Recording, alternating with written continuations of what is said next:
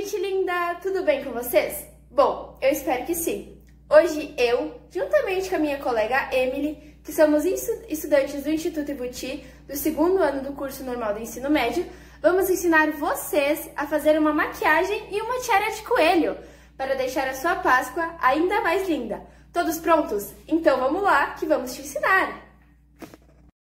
Primeiro, você pega uma sombra, pó ou blush, o que tiver em casa, da cor rosa. Passe em suas duas bochechas para fazer as bochechas rosadas do coelho.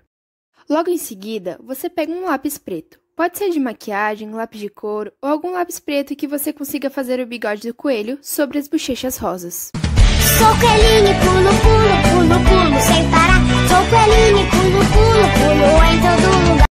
3. Pegue um batom vermelho, rosa ou da cor que tiver em casa e faça o nariz do coelho. A quarta parte é opcional. Você pode pegar o rímel e passar em seus cílios, escolher uma sombra com bastante brilho para passar no olho. Vou pra frente do espelho. Ué! Eu vi um coelho! E por fim, você pode passar um batom ou gloss da sua preferência, para sua maquiagem ficar mais linda ainda. E pronto! Sua maquiagem está finalizada e pronta para arrasar no dia de Páscoa. E aí, Preparada para fazer a sua também? Olá pessoal, nesse vídeo vou mostrar para vocês como fazer essa tiara com orelhas de coelho. Você vai começar desenhando com um lápis e uma borracha, quatro moldes da parte exterior da orelha da, do coelho. Eu utilizei então duas folhas de desenho para isso. Você irá recortá-las e reservá-las.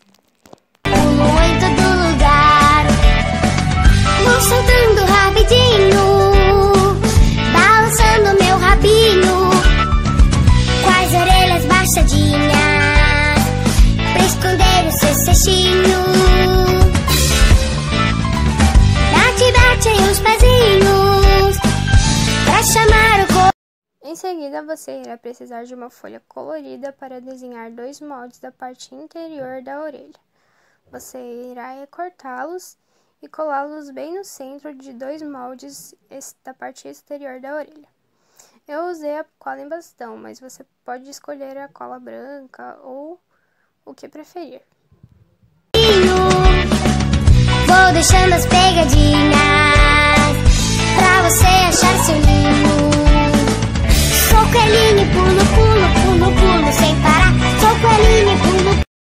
Depois você irá precisar de três palitos de picolé, sendo um deles partido ao meio, para colar atrás de dois moldes da orelha para que a orelha não se incline na tiara. Eu utilizei a cola quente para isso, mas acredito que com a cola branca também funcione. Com as orelhas prontas, você só irá precisar colá-las na tiara e sua tiara estará finalizada.